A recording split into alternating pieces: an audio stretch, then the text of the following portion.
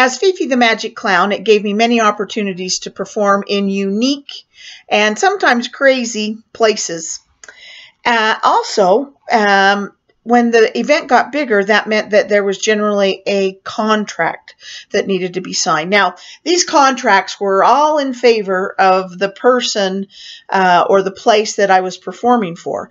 It would be pages and pages of lingo, jingo, legal, beagle, um, telling me everything that I had to do and when I had to do it and how long I had to do it. And if by chance there was a national disaster and I didn't perform, I had to pay them because I did not keep my contract. Now, the amount that I had to pay was always horrifically more than I ever made.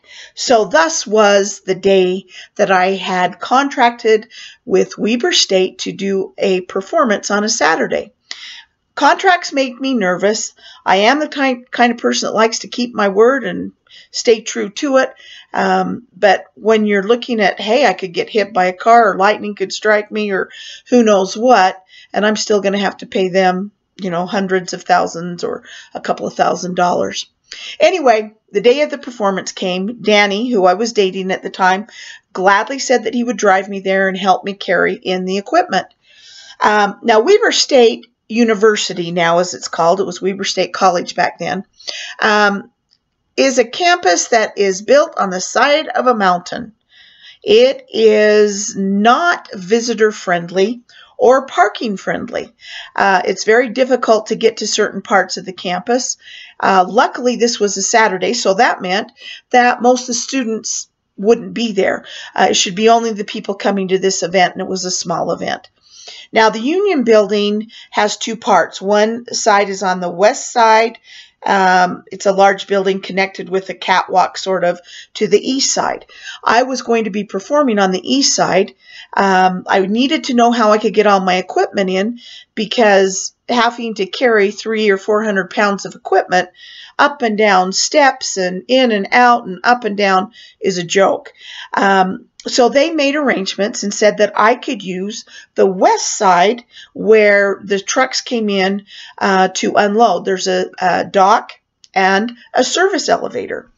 And they said, now no one will be there, but we'll make sure that you can get in and uh, use the service elevator. It'll take you up to the top floor where you can go across uh, to the location where you'll be performing. So there won't be stairs or anything. We'll have a cart there that you can put most of your equipment on and then just pull it into the service elevator and up you go. Great.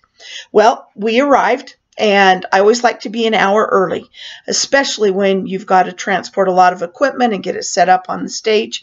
So we got there in plenty of time. Uh, we unloaded the car and then we parked the car where they told us we had to park it.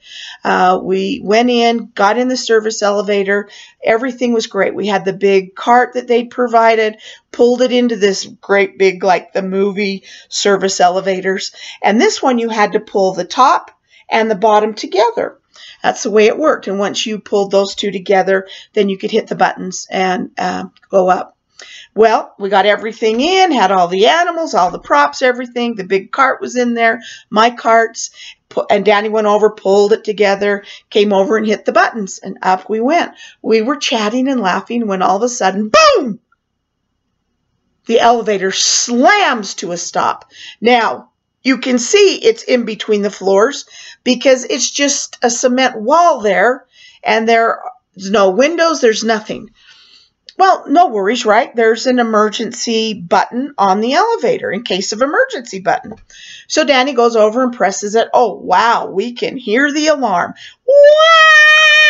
And it's great. As long as you're pressing the button, there's this loud siren horn going off. And it's funny at first, and then Nobody comes. We press it again. We press it several times in a row. No one comes. We're pressing. And finally, I run over and I'm pressing.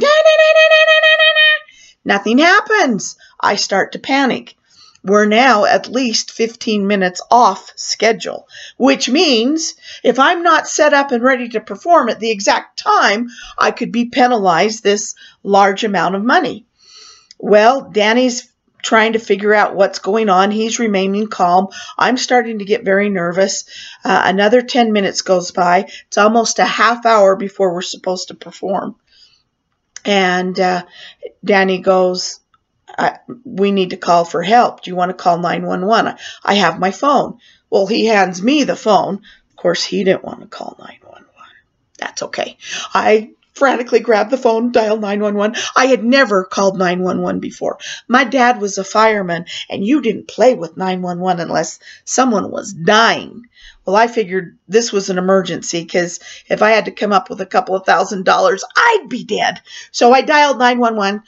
911 emergency. How can I help you? Hello, this is Fifi the Clown. I'm in Weber State and we're stuck inside an elevator and I'm trying to remain calm and I know I sound like I'm a hysterical nuthead, but they can't hang up on you, thank goodness. And I'm trying to explain. I've got to, I've got to get to the show.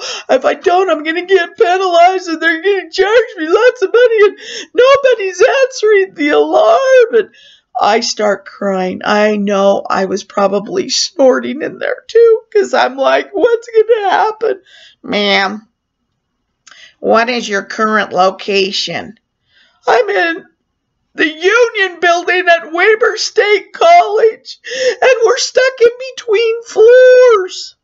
At this time, I think the birds are cooing and the dog is barking. So it does sound like a loony bin. Danny, of course, is calm. I love Danny because he's calm. I am not. He's going over, analyzing everything, goes over to the doors on the elevator, wiggles them a little bit, slams them together. the elevator starts up. I'm like, oh, everything's okay. We're on our way. Ma'am, stay on the line. I'm staying on the line. We get up to the very top floor. The elevator stops nice and slowly. Off we go, and I tell the 911 operator, We're okay, we're off, everything's okay. And I hang up. Well, we run. We have 10 minutes to get everything on the stage and set up. That's all I'm thinking about. I am going. We run in there, we pull everything up, get it up on top of the stage. Normally, I like to have everything set up and do a soft run through, make sure everything's okay. It was two minutes to, we were set up and ready. They announce, and the show begins. Now, I managed to pull it off. I was a little bit shaken, but so relieved that we made it on time and that I did not break my contract. I'm doing my little thing when all of a sudden I noted notice at the back of the room the doors open. It's police officers and the fire department. I try to maintain, but I know what's happening. When you call 911, they come. I'm trying to still maintain, do my little show. I'm seeing everything going on. I watch Danny go over and talk to the police officers and the firemen. They slowly, after about 10 minutes, quietly leave the, the room and shut the doors, and I am so relieved. I make the show, it's ended, everyone has a great time, and I know I told people for years I bet the emergency responders play my phone emergency 911 message at their Christmas parties when a clown calls 911 and is a Looney Tune. Memoirs of Fifi the Magic Clown.